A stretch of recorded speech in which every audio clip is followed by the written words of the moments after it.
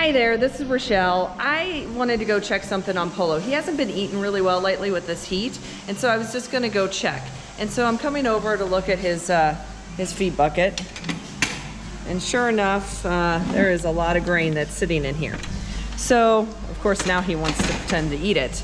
Um, anyway, so what I'm gonna do is I'm gonna record that as an observation. I just wanna keep track of him and uh, what his behavior's been doing so I can let the vet know and such because he just, he's been not eating that well lately and so I just am watching it very closely.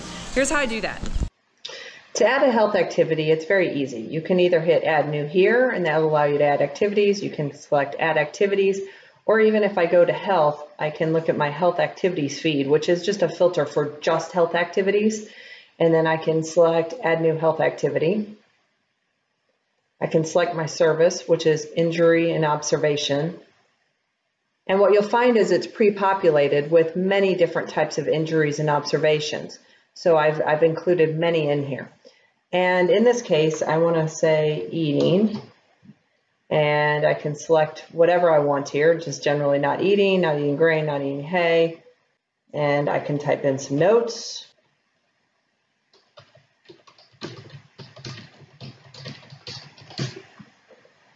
And he is already defaulted because I was on him to begin with. It's not a billable item, so it's defined with don't charge.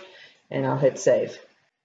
So now I have all this information recorded. And because I have the date and the time recorded for that activity, I can export it in the reports and send it to my vet if it becomes a cause for future concern. And they will have a, a historical reference of these type of injuries and observations.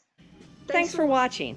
We're going to be posting more videos related to Equine Simplified tips and tricks, as well as general horse care topics. So please remember to subscribe so that you can get the latest. Now, time to go play with the horses. Cheers.